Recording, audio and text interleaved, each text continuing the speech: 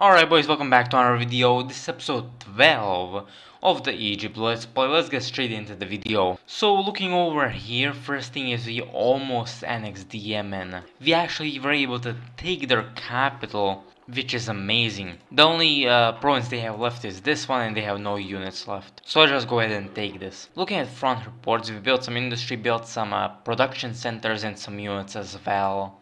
Not bad.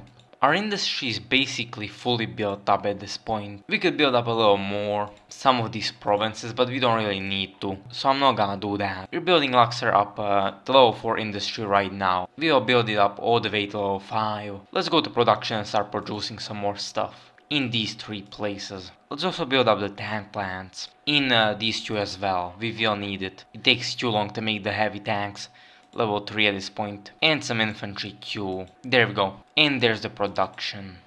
Now since Yemen is annexed, we'll prepare to invade Oman. So let's get some units ready.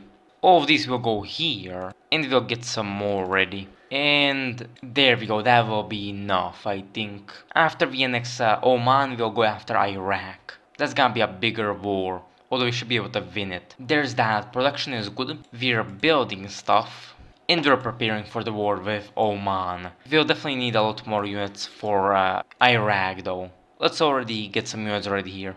There we go. Let's also research level 5 motorized, as well as level 6 artillery. Let's build this stuff up because of that as well. And the barracks. There we go.